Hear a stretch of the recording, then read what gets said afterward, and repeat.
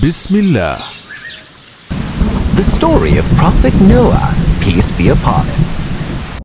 The story of Prophet Noah, peace be upon him, is a powerful reminder of the importance of listening to the guidance of the prophets and following the path of Allah. The story begins with the Muslims being left without a leader for guidance following the death of Prophet Idris. Satan, who had been watching the situation with interest, approached the Muslims and suggested that they make statues of the pious men in order to remember them better and to have something to guide them in their worship. The Muslims agreed, not seeing any harm in this, but over time, they began to worship the statues, forgetting the true purpose behind them. Centuries later, Allah sent Prophet Noah, peace be upon him, to guide the Muslims back to the truth. Prophet Noah, peace be upon him, taught them about the beauty and wonders of the world, and that it all came from Allah, the one true God. He also told them that Satan had tricked them, and that they should not worship statues anymore. Some of the people listened to Noah, peace be upon him, and believed in his teachings, but some rich people did not want to believe and made it difficult for Noah, peace be upon him. Prophet Noah, peace be upon him, explained to them that material possessions were not important.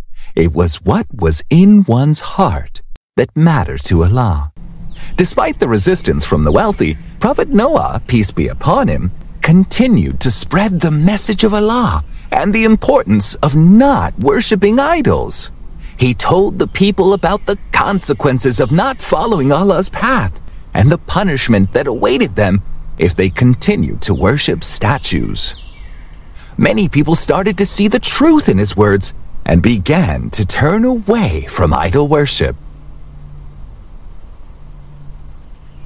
However, there were still some who refused to listen to Prophet Noah peace be upon him, and continued to worship the statues. Allah, in His wisdom, had given Prophet Noah, peace be upon him, the task of building a large boat to save those who believed in him and his message.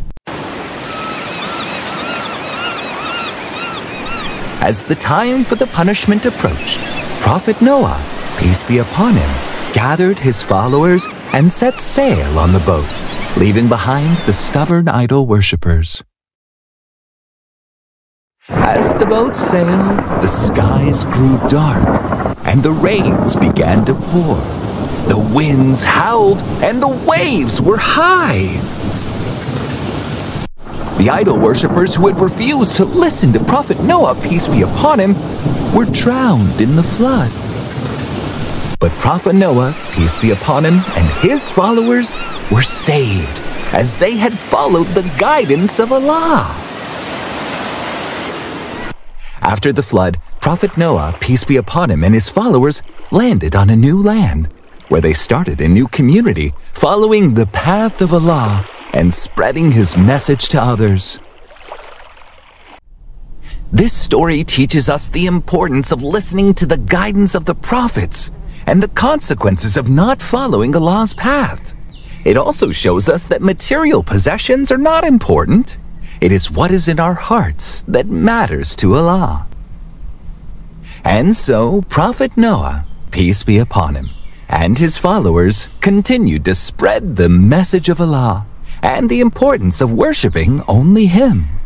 They built a new community based on the principles of the oneness of God, compassion, and kindness. They lived in harmony with nature and helped each other to grow and prosper. Prophet Noah's, peace be upon him, teachings became the foundation of the new society, and they continued to be passed down from generation to generation. As the years passed, more and more people came to understand the truth of Prophet Noah's peace be upon him, message. And they joined the community. They were taught to worship only Allah, the one true God, and to lead a virtuous life. They were taught to be humble, honest, and compassionate towards others. And thus the community grew and flourished.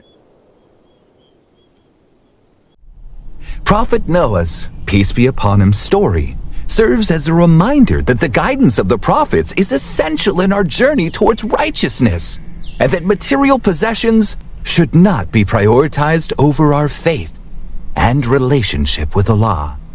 It also teaches us about the power of patience and perseverance in spreading the message of Allah, and the importance of standing firm in the face of resistance and adversity. It reminds us that it is through our actions and our hearts that we can truly honor and worship the one true God, and that following the path of Allah will lead to salvation and success in this life and the next.